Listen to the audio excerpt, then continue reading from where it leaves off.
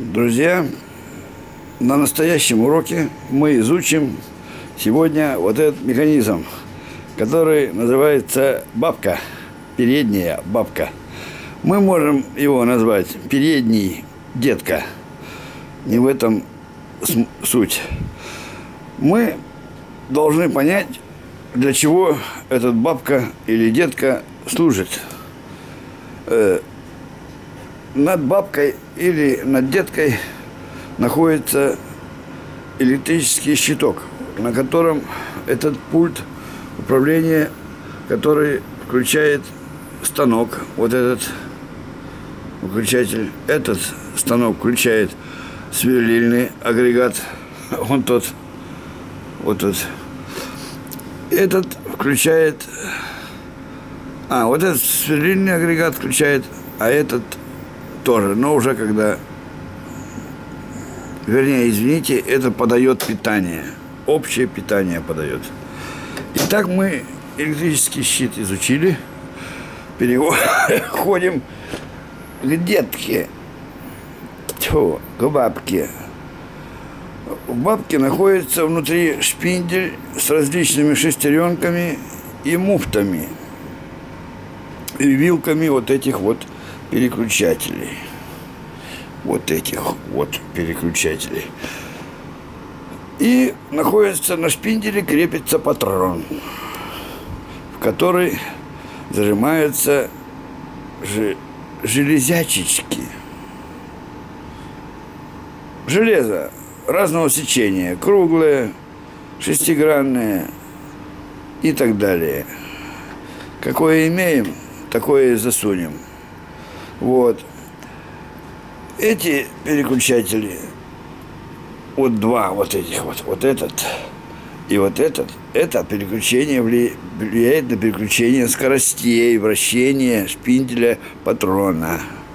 Э, вот эти переключатели влияют на ход, на действие вот этих двух винтов, которые влияют вот на этот суппорт – фартук суппорта, вот этот вот фартук суппорта, который механическую э, движет суппорт туда, сюда и тут. Нет, туда не движет. Только туда и сюда. Вот. Вот эти вот переключатели, их, конечно, не трудно изучить. Вот этот, значит, на подачу скорость подачи, вот эти два влияют скорость подачи, а вот этот на резьбы, различные резьбы. Тут один винт на подачу, второй на резьбы. Это мы в будущем с вами все пройдем. А вот этот вот, это выключатель станка. Сейчас мы его попробуем. Подаем.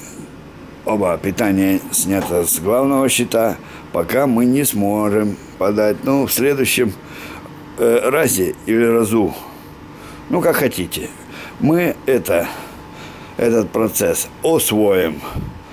Итак, друзья, сегодня мы только бабочку, де, баб, фу, дедочку, ой, извините, бабочку изучаем. В нижней части станины находится там резервуар для масла и насос, который качает из того резервуара масло в эту детку. И методом налива на желобки разные, внутри там под этой крышечкой, э, масло на желобки попадает, а оттуда самотеком на шестеренки и муфты на валы различные, и все поэтому смазывается. Вот контрольное стекло. Если здесь брызгает масло, то значит все окей, все работает, и все best condition. Итак, сегодня мы с вами почти... А вот эта кнопочка красная, ее лучше не трогать. Она экстренно вырубает детку и, или бабку станок, короче, вырубает.